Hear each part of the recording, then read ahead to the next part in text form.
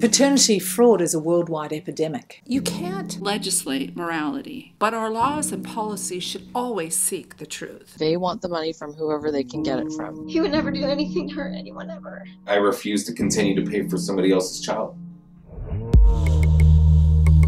His ex began talking about some deep, dark secret involving his daughter. I owe $31,000 and counting. Not only are they taking somebody's money, but they're involving children. I don't know how it can get any worse than that.